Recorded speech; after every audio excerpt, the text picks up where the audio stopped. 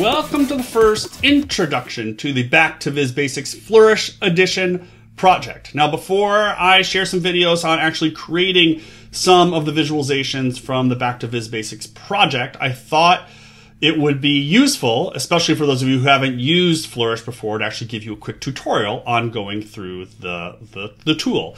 And I'm going to put a bunch of links to different tutorials that the Flourish team has produced and some other things that I think would be useful for you. But in case you wanted a quick tour of what's going on in the tool, I thought I would give you uh, that quick little view of what's going on. So let's head over to Flourish. Let me show you what's going on. Okay, so you need to obviously create a, an account. And once you create the account, you're going to come into what looks like a basically an empty projects page. You can see you have your, your basic core part of the directory is my projects. You can add a new folder, um, and that way you can sort of organize uh, your, your work. Um, the initial prompt here is just create a new visualization. So I'm going to click this, and this is going to bring you to the entire library of Flourish visualizations. And what you see here is going to depend on whether you have a free or a premium or an enterprise wide uh, uh, an account. So just to keep that in mind that you might see some things on my screen that you won't see on yours. Um, but just take a look here. There's a lot of visualizations. There's more than 50 different visualizations you can create just out of the box here in Flourish. Uh, they start with what they call LBPs, so line, bar, and pie charts, uh, projection maps, scatter plots, 3D maps, bar chart races, uh, what they call a group of hierarchy graphs, which is tree maps and sunburst diagrams, Sankey diagrams. Then you get into some other things that you know I, I think are a little little more uh, niche, right? So sports diagrams, 3D globes, um, uh, cards, heat maps, and so on and so forth. So you see, there's a lot of opportunity here to create a lot of different types of visualizations. So I'm just going to go back up to the top and just going to show you very simply about creating, let's just say a line chart. So I'm going to click the line chart here and Flourish is going to load, load that visualization uh, in the new window. And so there's basically kind of two parts to any Flourish window. There's the preview tab. That's to let you see your graph and you're going to have all of the uh, different menus here on the right side. And then there's the data tab in here, which is going to have the actual data. And we're going to start here with the data tab, and because this is obviously where you're going to load in your data. And there's a bunch of ways to bring data into Flourish. You can literally copy and paste. If you are working in Excel or a CSV or Google Sheets, you can literally grab your data, copy it from there, and paste it into here. And so if I were to do that and say my data were only, you know, four columns, I can go in here into column E, I can right click and I can say remove column. And if I wanted to add a column back in, I just insert a column right there it is important to always remember that Flourish is a visualization only tool. You are not going to be able to do any sort of advanced calculations. And by I mean advanced, I mean anything kind of beyond scaling by units of thousands. Really, beyond that, you're going to have to do that in whatever tool you're working in Excel, R, Python, whatever tool you use. You have to do all your calculations there, and you're going to bring the data into here. So again, you can copy and paste. You can upload your data. As you can see here, they have lots of opportunities, lots of options that you can load your data in. You can also just, instead of doing it I did, which is delete or, or insert different columns, if you go to the drop down by data, you can actually just clear this, clear this out, and then you can download your data.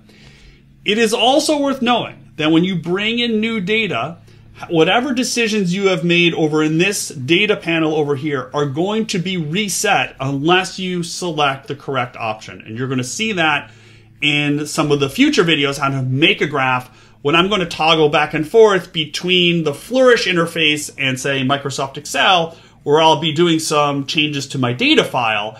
When I bring that back into Flourish, I want to turn that option off of, of resetting because I'm already going to make my decisions about what to plot. With all that being said, in the right pane over here, you can see that Flourish is going to sort of prompt you to already set up what it thinks you want to plot. And so there's a little highlightable button here. You can say auto set. And so this is just going to use their internal algorithms to figure out what you want to plot. And so for this line chart, you're required to have the label slash time. Notice the little uh, question mark. You can select all these and you get a little help, which is great. Um, and here they've already told you, or already prompted you to say, okay, so year is going to be on the x-axis. Yeah, that makes sense. and the values are going to be B to E, G, and H. And so you can see the purple colors here. If I just want to plot, say, say uh, column B and column D, I'll do type B and then comma and then the letter D, and those will highlight, which is a really nice feature. You can sort of like pick that out right away. You can also change how the data are being read in, and there's there are some limitations here. So you're going to click this little one, two, three box at the top. You can see for the purple series, it's one, two, three. For the year, it's uh, kind of a pinkish color with a calendar. And there's also a text field. So I can change this to text, and it's not going to let me do that for this one. Uh, oh, because it's being used. So let me go to North America, and I'll change this one to text. And that is going to be, I guess that's a gray. So that's, so that's going to be the gray color. So I can go in, for example, for numbers, and they have, I don't know what this is, like six different input formats, and it kind of just changes where the comma and the period are, which is, I think, kind of limiting. Um, because I might have data coming in with a dollar sign or as scientific notation or with a percent sign at the end. So there's some things to keep in mind here. And as you go through your work with Flourish and, and hopefully watch some of the videos, you'll see how I've tried to overcome some of some of these uh, formatting, uh, what I think are some formatting issues here.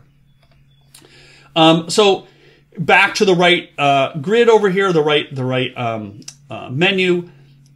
There are lots of other options in here. So if we wanted to have a grid, you wanted to make small multiples, you could set that up uh, right here, which is which is really nice. You need to nice, but you need to select a column. So if you wanted to have one graph for the East Asian Pacific countries and another for Latin American and Caribbean countries, you actually need to resort your data because you would want to have one variable that says, okay, here's one group and here's another group. So that's a case where you need to go back to Excel or whatever and reshape your data and then bring it back in. You can also create filters. I'm actually going to create a filter here. We're going to put in uh, A, uh, the letter A here. So that's going to create a filter. Uh, you can see it's it's already prompting down here. And I'll leave this alone. This is for my pop-ups. I don't really need it right now. And let's click back over to the preview and see what we got. So you see, I just have 1900 because I've selected this filter, right? And so that filter sort of just says, okay, pick a year. So we don't like that. We just go back, we just delete it, and we go back to the preview, and we've got this line chart. Terrific. That's great. Simple, simple line chart. Let's go back real quick and just select all these other ones. So let's just do, make this a little easier. We'll do B to H and give us all of our data here. And now we should get a nice line chart if I did that right, which I didn't. B hyphen H. And, oh, I guess because I deleted that, um, there's this F here, right? This F is kind of blank, so I have to remove that column. So again, you're going to see me learn uh, with you as I make these graphs uh, as part of this as part of this project, and I need to change this back to a number. That's my problem back to a number, and now I can do B to H. And now I should get, there we go, all purple. And we get our preview. Now we're here, and now we can get into the menus. It's worth noting, I'm not going to go through all the menus because across the 50 plus graphs you can make in Flourish, there are more than 150 different menus. And some of them, I will say, overlap in what they do, but not their name. So for example, you see here pop-ups and panels. Sometimes they're called pop-up. Sometimes they're called pop-ups. So there's some inconsistency here, I would say, in how Flourish works. But a lot of this is, as it is a browser-based tool, is just a lot of clicking and finding things. Because we're in the line bar and pie charts section, we can actually do some changes. We can select a different chart right here. I won't do that now.